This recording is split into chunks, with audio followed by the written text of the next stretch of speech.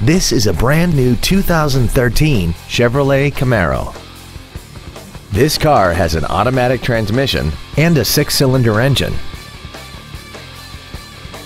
Features include a sports suspension, a low tire pressure indicator, cruise control, a rear spoiler, a security system, stability control, an anti-lock braking system, dual airbags, a power passenger seat, and direct injection. With an EPA estimated rating of 30 miles per gallon on the highway, more money will stay in your pocket rather than pour into the fuel tank. Contact us today to arrange your test drive.